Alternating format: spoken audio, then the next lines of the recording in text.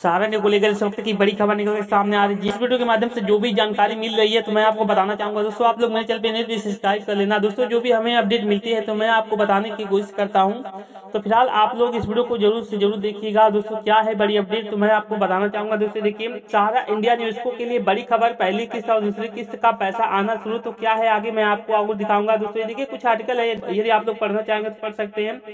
दोस्तों देखिए, कुछ आर्टिकल है, यदि आप लोग पढ़ना चाहेंगे तो पढ़ सकते हैं। फ़िलहाल, दोस्तों देखिए इंडिया न्यूज़ को लिए बल्ले बल्ले आप सभी को जानकारी के मुताबिक बता दें कि सहारा इंडिया का पैसा फ़र्स्ट पेमेंट, लेकिन दूसरा किस्त का पैसा दो फरवरी से आना था, लेकिन अब आगे बढ़कर पाँच फरवरी कर दिया गया है। तो आइए जानते हैं कि आखिर पाँच फरवरी के दूसरी किस्त का पैसा कितना दिया जाएगा और फ़र्स्ट किस्त का पैसा अभी कितना मिला है यह पूरी जानकारी हम इस वीडियो के माध्यम से बताने वाले हैं। तो भाई, आप लोग बने रहेगा तो दोस्तों, देखिए, फ़र्स्ट पेमेंट और सेकेंड पेमेंट कितना आएगा, यहाँ से जाने।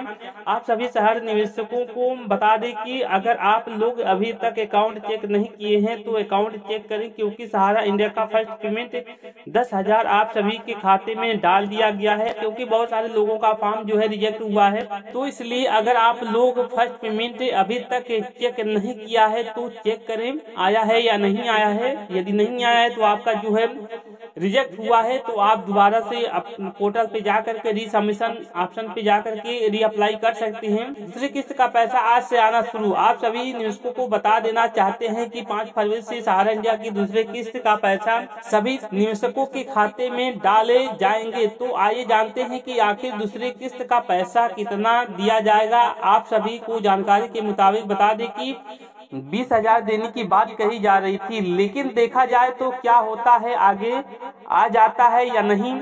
आने वाले लोगों को रिजेक्ट फार्म में किया गया है। आप लोग जल्द से जल्द सुधार करवा सकते हैं।